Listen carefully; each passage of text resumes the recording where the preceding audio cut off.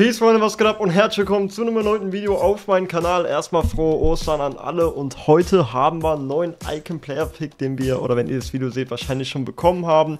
Ich nehme das Video hier noch um 14 Uhr auf, zumindest hier den ersten Part, weil ich ein paar Packs habe, die ich auf jeden Fall vor 19 Uhr öffnen muss. Einfach, weil ich Futter brauche. Wer das Video von gestern nicht gesehen hat, kurz vorweg, checkt es auf jeden Fall ab, weil die Live-Reaction ist legendär. Ich blende euch jetzt das Bild ein, wie mein 650k Shop-Pack aussah, also dieses äh, 85, nein, 60 mal 85 plus, so rum. Es war so ein geisteskrankes Pack mit Charlton, der noch drin war und zu dem Zeitpunkt noch 2 Mio wert war. Ich glaube, jetzt liegt der gerade bei 1,8, 1,9. Aber okay, lasst gerne ein Like da, würde mich freuen. Lasst ein Abo da und dann würde ich sagen, starten wir auf jeden Fall rein, Freunde. Ich habe, wie gesagt, ein paar gute Packs. Ich mache die nebenbei mal weg und äh, wir schauen mal, ob was bei rumkommt. Wir haben ein 85 mal 2 Pack. Das sollte, ja, Trend sein. Vielleicht Double Walkout. Dankeschön EA Sports. Ich brauche Futter auf jeden Fall fürs Icon Pack, weil es werden, ihr habt es wie gesagt schon gesehen und wir werden es gleich auch zusammen sehen, äh, laut Twitter werden Future Star Icons in dem Player Pick mit beinhaltet sein. Und deswegen, ich brauche da Futter. Ich glaube, es wird auf jeden Fall nicht günstig werden, das Pack. Jetzt haben wir wieder England. Bitte nicht wieder Trend, bitte. Dankeschön. Ich weiß nicht, wer mit Futter Bronze. Aber kein Double Walkout, okay. Weiter geht's. Wir machen weiter mit einem 80 x 10 Pack. Ja, Chalanolo können wir erstmal äh, skippen, weil es leider kein Walkout ist. Ich habe die Weekend League auch nicht angefasst, Freunde. Diese Woche gibt es von mir keine Rewards, einfach weil ich euch gesagt hatte, die Rewards sind so schlecht. Ostern Wochenende mit der Familie, mein Bruder hat auch Geburtstag. Und äh, da lasse ich lieber mal, sage ich mal, außerhalb hier, wenn ich ein Video aufnehme, die Konsole lieber aus, anstatt da in eine tote Weekend League reinzugehen. Zumindest wo tote Rewards sind. 5 mal 83 plus EA Sports. Gönnt mal irgendeine Special-Karte zum Event. Ich bekomme die ganze Zeit nur England Rechtsverteidiger. Wieder Bronze. Kann ich jetzt auch in der SPC abgeben. Alter, ist das kranker. Das macht keinen Spaß. Jedes Pack muss ich recyceln. Bitte. Neue Eventkarten EA Sports. Brasilien. Casemiro? Ja, Casemiro ist super. Casemiro ist ein sehr starkes Rating. Sowas will ich hier sehen. Guck mal, 89er Futter. Den kann ich perfekt in eine Icon SBC packen. Nochmal 4x84 plus. Zeig mal her. Manet? Manet, oder? Ja, das sollte Manet sein. Alter, wann zieht man mal Manet? Ich ziehe immer Kulibali eigentlich. Dann haben wir noch ein 2x85 plus und dann haben wir 82x20 Pack. Komm, Heung-Min Son nochmal mitnehmen. Gib mir nochmal ein Double, Double Walkout. Dann bin ich durch mit dem Icon-Pick, Freunde ja, gute High-Rated-Karten im Verein gehabt. Ein Modric und Son. Zwei 87er, die sind auf jeden Fall sehr stark. Und jetzt haben wir direkt das 82 x 20 Pack. EA Sports macht mir ein Ostern-Geschenk, würde mich freuen. Zeig mal her. Schade. England, RV. Ne, rechter Flügel. Okay, aber 87er Rating, wenn es die Frau ist. Ansonsten, ja doch, ist sie. Leider kein Double Walkout. Aber okay, nehmen wir mit, Freunde. Ist ganz äh, okay, würde ich sagen. Declan Rice ist noch dahinter und Thiago Silva noch 84er Duplikat. Okay, wir haben den Icon Player Pick eben um 18 Uhr schon bekommen. Wahrscheinlich halt wegen der Zeitumstellung, dass sie bei sich äh, im System, sage ich mal, noch nicht umgestellt haben, haben sie den 19 Uhr Content schon um 18 Uhr gedroppt und wir haben den Encore Player Pick bekommen. Miguel Gutierrez haben wir bekommen, äh, Girona versus äh, Betis und ähm, also für das Spiel. Und wir haben Enko Hero Pack bekommen. Äh, äh, nicht Pick, sondern Pack. Das ist wie mit dem Icon Pack, unendlich wiederholbar für zwei Wochen. Ist aber halt auch Basis Hero dabei. Deswegen sollte man sich das mehrmals überlegen, ob man sich den mitnimmt. Der Icon Pick kostet 330.000. Ich habe den eben ja schon mal fertig gemacht. Da gehen wir jetzt auch direkt rein. Wir öffnen den danach nochmal auf meinen zweiten Account. Und dann würde ich sagen, gehen wir rein, Freunde. Komm, Monitor aus. Let's go. Ich habe noch gar nichts gesehen und schmeiß mich hier direkt ins kalte Wasser und hoffe, dass wir irgendwas Geiles ziehen. Komm, Future Star ist jetzt auch mit drin. Da gibt es noch Winter Wildcard, Thunderstruck und äh, Totti Icons. Wir haben 99 Kopfballpräzision. Bitte EA Sports. Ich kenne die Karte. Die habe ich letzte Woche gehabt. Äh, nee, komme ich nicht drauf. Aber ich hatte sie letzte Woche. Es ist Bergkamp. Richtig, den hatten wir letzte Woche schon im Player Pick. Dann haben wir wieder 75 Physis. Okay. Wieder gut Kopfballpräzision. Und ja, nicht so gut Dribbling. Ist in Ordnung. Balance ist halt etwas wenig. Passspiel, Quatsch, Schuss, Quatsch, Tempo in Ordnung. Es ist Lineker. Alter, geil. Jetzt haben die Basis rausgetan und klopfen uns diese scheiß Winter Wildcard in die Player Picks, ne? Und ein Torwart. Ich habe Peter Schesch, Totti Icon und habe eben Cassias äh, Thunderstruck abgegeben. Bedeutet, mit Van Nistelrooy kann ich genauso wenig anfangen. Oh Gott, ist das ein schlechter Player Pick. 3 Winter Wildcard-Karten. Was soll ich denn hier mitnehmen? Gar nichts, Freunde. Ich nehme einfach das Rating mit und tue dann in die nächste kommende SPC. Das ist sehr, sehr schwach gewesen. Wir haben den Icon Player Pick jetzt nochmal auf den zweiten Account. Und zwar hat mein Bruder bis vor einem Monat FIFA gespielt, Freunde, und hat aufgehört. Und der Monat, äh, der Monat, der Account wurde jetzt einen Monat gar nicht mehr, also seit, dem Totti sogar mittlerweile zwei Monate, nicht mehr benutzt. Und äh, so hat er das Team, sage ich mal, sein Team verlassen im Januar und das gehört jetzt mir. Messi hat er damals auch aus diesem Bugpick gezogen. Äh, Leo, die sind alle untradable, die hat er alle damals gezogen. Eusebio abgeschlossen, sie dann abgeschlossen. Und das Team werde ich jetzt übernehmen, weil das TOTS kommt. Ich werde dann auch wieder wie jedes Jahr zwei Weekend Leagues spielen, auf zwei Accounts aktiv sein. Einfach für die Rewards. Guckt euch mal diese Evolution an, die er damals mitgenommen hat, wie gut die eigentlich aussieht. Ähm, ja, er hat geile Karten. Oberdorf Team of the hatte er auch gezogen. Also GG, er hat einfach zwei Tottis gezogen. Ne? Diani hatte er damals gezogen. Ich weiß nicht, ob die jetzt noch was wert ist. Aber ich zeige euch den Account, weil er jetzt in Zukunft erstmal mir gehört. Guck mal hier mit 97 Physis, Rechtsverteidiger Dumfries. Aber äh, ja, und wir haben gestern halt noch auf dem Account mit Coins das Pack gezogen, das neue, und haben Bobby Charlton gezogen. Jetzt müssen wir schauen, wie wir das umbauen ob wir den reinpacken. Also wir müssen eh eine komplett neue Formation und so machen. Aber wir haben auf jeden Fall einiges jetzt zum Upgraden. Er hat noch Harry Kane, Prinz. Ah, Ashley Cole haben wir auch gestern im Video gezogen, stimmt. Können wir sogar noch Cole hier reinpacken, obwohl Theo Hernandez eigentlich auch stabil ist. Also er hat schon ein geiles Team jetzt, ne? Ich will es euch ganz kurz hier zeigen. Was hat er noch? Cola hat er, die schlechte Version, Francescoli. Ähm, ja, viel Futter, auch was noch weg kann. Okocha hat er gezogen, stimmt. Okocha kann ich auch noch wahrscheinlich einbauen. Ist eigentlich auch eine coole Karte. Wie viel kostet er? Ja, nicht so viel, okay. Naja, auf jeden Fall gehen wir jetzt erstmal in den Player-Pick rein. Und weil auf dem Account so zwei Monate nicht gezockt wurde, habe ich gestern noch so ein 85 plus Free Pack Ashley Cole gezogen. Nächstes Shop Pack war ja geisteskrank. Deswegen glaube ich, kann jetzt auch äh, das Pack gut knallen, wenn ihr A gönnt, weil solange nicht auf dem Account gespielt wurde. Und äh, eine halbe Mio hat er noch und ich werde alles aufbauen. Neben meinem Main-Account natürlich. Da haben wir zwei Accounts, auch zum Tots mit Upgrade-Packs und so Action zu machen. Und wir starten rein. Player Pick. Ich glaube, jetzt knallt's. Ich hoffe. Okay, Roulette Gang Stats. Alter, 91, 91 und alles über 80. Ist es ein Team of the Year? Es ist der Future Star. Let's go. Es ist Gerard. Okay, Steve G. Schau direkt mal seinen Preis nach. Er liegt bei 330.000. Direkt besser. So, nächster Spieler. Nächster Spieler. 90 Dribbling ist in Ordnung. Ja. Nee, nee, die sagt mir irgendwie was. Nochmal Future Star. Netwet. Okay, E-Sports, ich verstehe. Einfach mal länger nicht zocken und dann Packlack haben auf dem Account. Ja, okay, aber 94 Reaktion, 92 Ballkontrolle, nur Balance scheißt halt komplett rein. Dann haben wir 90 Passspiel. Nee, keine gute Karte. Van Basten. Okay, aber ich glaube, ich gehe mit Gerard, Freunde. Netwert kostet wie viel? Wahrscheinlich nicht über 330. Ne, 70.000.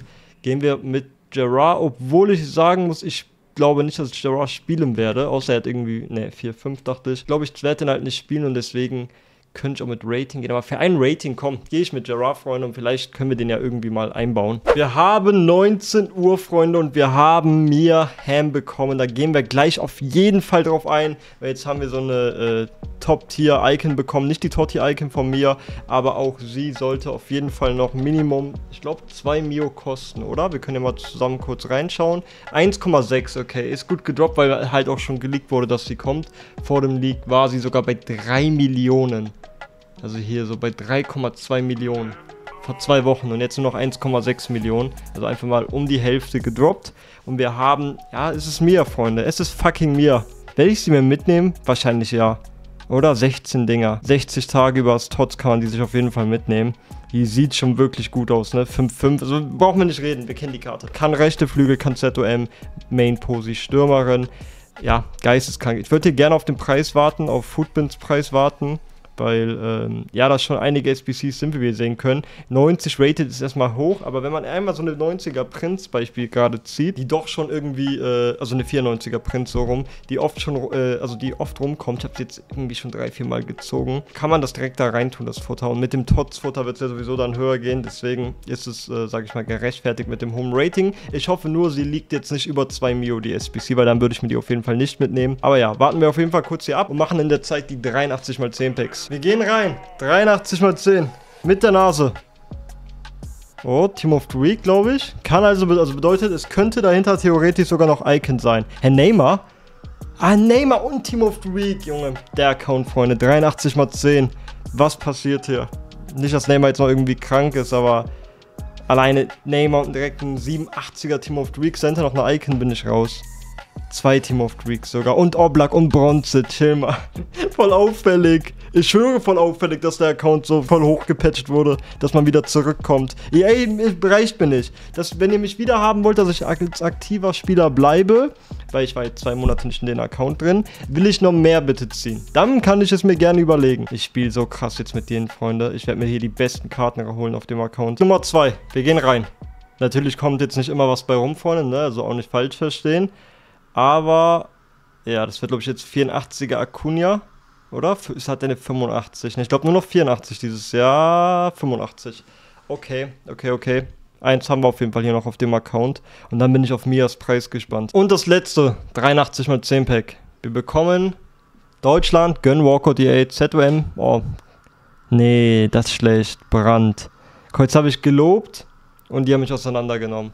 Aber okay, gehört auch dazu. Ist in Ordnung. Wir haben, glaube ich, Mias Preis mittlerweile auf Foodbin und der ist too much. 2,2 Millionen Coins. Also man bekommt die für 600k weniger auf dem Markt.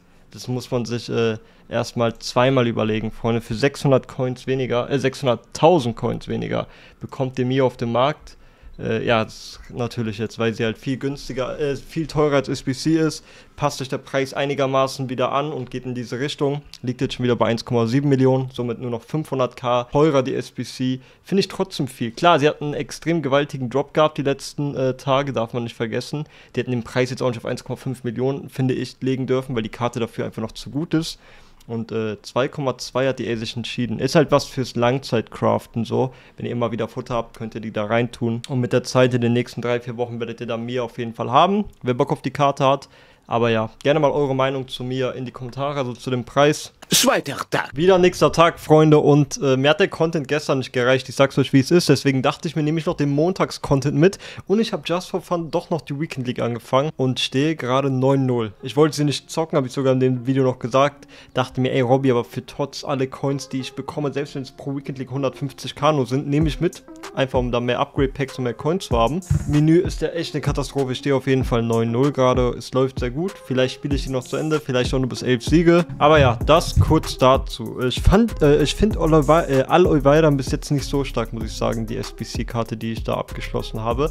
Aber ein ganzes Feedback-Statement äh, mache ich euch dann im nächsten Video, wenn ich die Weekend League zu Ende gespielt habe. Wir haben auf jeden Fall 81 plus Player-Picks bekommen. Die 80 plus sind jetzt wieder abgelaufen. Jetzt sind wieder 81 plus Picks da. Sind aber wahrscheinlich, und 85 plus Profi, weil es auch gekommen, zweimal wiederholbar.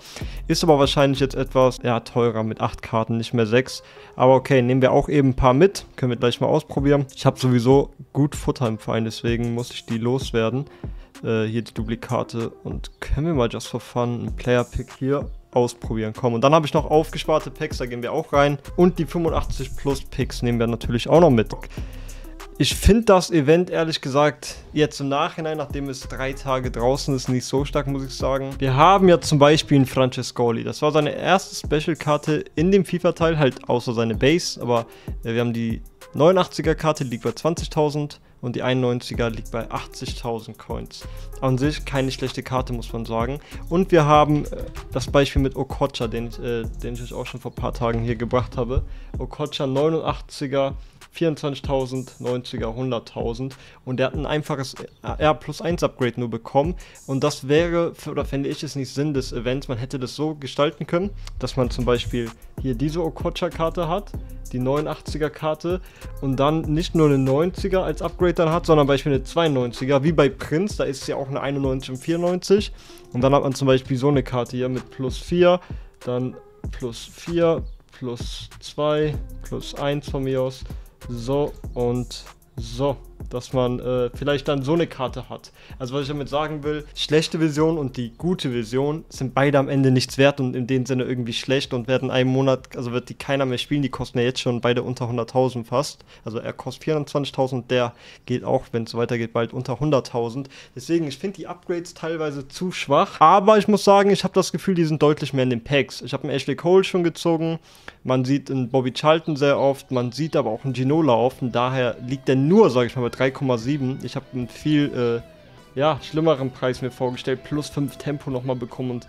alles drum und dran. Trotzdem sage ich mal nur 3,7. Habe das Gefühl, dass die Packrate da etwas besser geworden ist. Carrefour auch nur bei 1,2. Bei so äh, Stats hätte ich mir den auch bei 2, 3 Millionen vorgestellt. Aber okay, das ist vielleicht eine positive Sache. Finde aber vereinzelte Karten wie Francescoli, Okocha und wie sie alle heißen, leider nicht so gut. Aber okay, Freunde, wir gehen rein. 85 mal 3. Ja, schade. Ich muss euch ein Pack zeigen. Warte mal. Ich habe gestern eine kranke Icon gezogen. Ich komme erst jetzt drauf. Ich habe gestern Abend natürlich gegrindet. Okay, leider kein Double Walkout. Und guckt euch mal an, was ich aus einem 83 x 10 hier auf dem Main-Account gezogen habe. Wir gehen rein. Erstmal hier ein Silberpack geöffnet. Können wir eben skippen. Dann 83 mal 10. Ne, erstmal das 51 mal Pack. So, und jetzt das 83 mal 10 Pack. Ich habe eine wirklich starke, starke Icon gezogen. Vielleicht sogar so Top 5 Icon aus dem Event. Oder warte, 1, 2, 3. Ja, Top 4. Top 4, Freunde. Top 4 Icon gezogen. Äh, erstmal hier Francescoli, die gute Vision. Und dahinter ist, guckt sich dann wie lustig eigentlich, habe ich auch so noch nicht gesehen, Francescoli die schlechte Vision. Also einfach beide in einem Pack gehabt. Ganz einfach, Freunde. So, wir haben Xavi Alonso, zweimal Francescoli. Also ich habe Xavi Alonso gestern gezogen. 590.000 Coins ist er gerade wert. Und ich zeige es euch hier nochmal, dass ihr seht, es ist kein Fake. Kann ich euch gleich nochmal zeigen. Ich habe den im Verein, aber noch kein Game gemacht. Auf jeden Fall habe ich gestern Xavi Alonso aus einem 83x10 Pack gezogen. Also macht täglich eure 83x10 Packs. Scheinen sich ja dann doch zu lohnen. Ja, 81x11. Nee, das ist es nicht. Hier seht ihr mein Team. Können wir nochmal Sava zum Beispiel in den Verein packen und holen uns Xavi Alonso ran. Den will ich sowieso mal zocken. Ich lasse ihn jetzt auch mal drin. Schreibt mir gerne mal rein, welchen Cameracy-Style. Hier seht ihr das nochmal First Owner, Erstbesitzer. Schon eine sehr coole Karte, ne? Feier ich. Keine Ahnung, warum die äh, Bilder immer so rumbuggen. Aber okay, dann würde ich sagen, schließe ich mal kurz die 85 plus Player Picks ab. Und Player Pick Nummer 2. Ich liebe diese Picks eigentlich. Komm, zeigt mir warum. Ja, Renat, nehmen wir beide mit. Tun wir in die Tauschdinger rein. Dann wollen wir uns ja mal die 81 plus Player Picks hier anschauen. Komm. Wir haben jetzt 10, 11 Stück vorbereitet. Schauen uns die Dinger mal an. Und hoffe mal, dass wir wenigstens eine Special-Karte bekommen. Komm schon. Die sind ja auch gerade frisch rausgekommen. Da denke ich immer, dass die da, wenn die komplett frisch rauskommen, nochmal ein Stück mehr OP sind. Sieht jetzt aber nicht danach aus. Vier Picks. Und wir haben ein Walkout, okay, nichts gesagt, ihr Spots, Dankeschön. Mit der Nase, gönn. Eriksen. Das sind so tote Dinger, ne? Bringt doch mal, keine Ahnung, eins von vier oder so. Oder halt eine niedrigere Anforderung, dass man mehr grinden kann. Hilft mir auch nicht. Was soll ich denn mit 84er, Freunde? Kann ich in den Team of the Week Upgrade SBC tun? Super, freut mich. Oh, fast Carrasco mitgenommen. Declan Rice und zwei Stück haben wir noch. Skip. Okay, zweiter Walkout. Und ja, 84er halt. Das einzig Positive ist, dass dieser Monat Tots-Monat ist, Freunde. Mehr gibt es da echt nicht. Ich habe zwei Tage den Content mitgenommen und der war zwei Tage langweilig, muss man so sagen. Icon-Pick irgendwie nur immer einmal wiederholbar. Warum macht man es nicht dreimal wiederholbar? Dann hat man ein bisschen länger was zum Grinden. So Kleinigkeiten, die einfach fehlen in dem Spiel. Aber ey, ich bin der Letzte, der mich hier noch irgendwie aufregt in jedem Video. Das äh, geht langsam auch... Äh, also es nervt mich auch langsam, deswegen. Ich hoffe, ich konnte euch trotzdem unterhalten. Wir haben nochmal einen Hero Player Pick, äh, Pack. Oh, keine Ahnung. Abidi Pelé, cool. Das ist aber die Base. Champions League Abidi Pelé. Ich glaube, der ist sogar stark. Guckt euch mal die Stats an. Also aus so einem Zugabe-Pack unendlich wiederholbar ist der sogar stark. Hat er 4, 4? Ja, ich sag 130.000. Nee, guck mal hin. 300, 280.000 nehme ich mit, ist stabil. Okay, wenn es euch dann gefallen hat, lasst gerne ein Like da, lasst ein Abo da. Wir sehen uns morgen wieder, hoffentlich mit besserem Content. Dann bin ich aber erstmal raus. Haut da rein. Bis zum nächsten Mal und Peace.